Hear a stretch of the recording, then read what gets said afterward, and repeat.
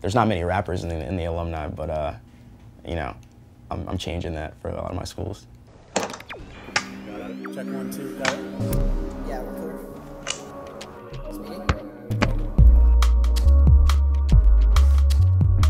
My name is Skizzy Mars. Uh, we're here at the House of Blues in Los Angeles, man, for a sold out show. I'm playing in a couple hours. Kids are lined up right now. It's, it's, it's an amazing feeling. Who's this pretty blonde chick taking bong rips? Park Ave, catching a cab the next morning. Grew up in New York City. Around my senior year of high school, I started like writing raps and sending uh, some songs to some blogs. They started posting them. I went to college for like 10 weeks upstate New York and then I dropped out and I've just been doing this full time. So. With those Lacoste did. So shout out to all the Rachels and Lawrence, my players. The whole tour thing, I've just kind of been thrown into that world. My first tour started in January.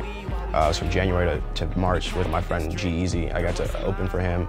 We did like 32 dates around the country and then I was right back on the road with Logic. She said to me, she said to me, It's definitely difficult to kind of balance recording and touring, you know, until the point where you can have like a, a you know, booth in your tour bus, you know, where you're like Wayne or Drake or something like that. It's tough. So it's kind of important in those breaks between the tours to uh, kind of record as much material as possible. I do a lot of writing on the road. Um, most of the recording at home, I like to kind of be in like the studio. So.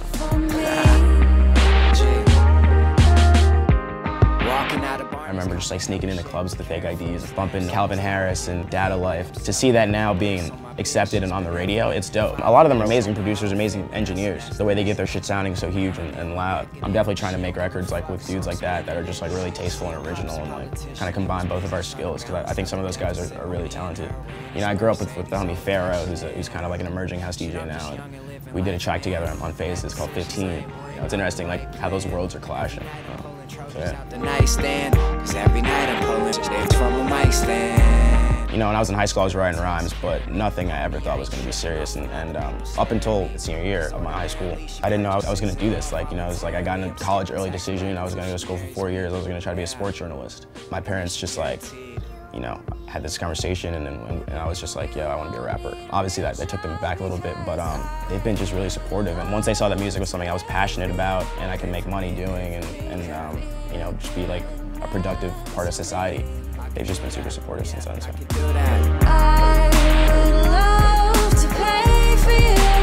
We just dropped the video for Pay For You, which was produced by G-Eazy.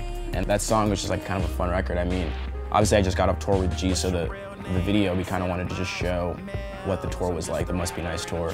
And that was actually footage of uh, the show from the El Rey Theater we did in LA. And the song was just a cool song. It's kind of like a flip on the typical like rapper talking to a girl like, yo, you know, come with me, I'll pay for everything. You know, it's kind of a flip on that and just like a fun way of like approaching that type of song. You know, it's just like, we've, we've dated rich girls before, so we kind of wanted to take that like, that perspective of it. Kill your migraine. It's Monday morning, but we treat it like a Friday.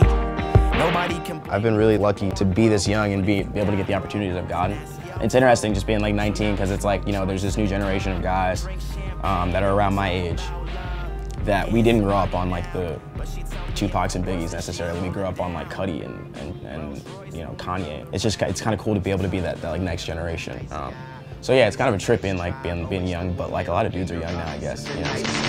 As if to say, come on, come on. I bet you they don't really know me. I'm looking forward to just this next project I drop. It's just something I'm working on now, the follow up to phases and like um, I just love putting out projects. Like that's my thing. Like just putting out a body of work, telling a story, even having that pressure of having to deliver and then delivering. So that's really what I'm stoked for. Just more music, more more touring, um, more traveling the country, and just spreading the fan base. It's dope. These Celine girls, I like to put the on. I'm a, phenom, but if they not. This is Skizzy Mars, man. Havoc TV, man. We're out here in LA.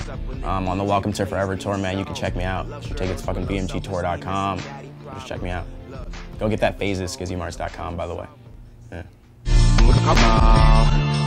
I bet you they don't really know me at all.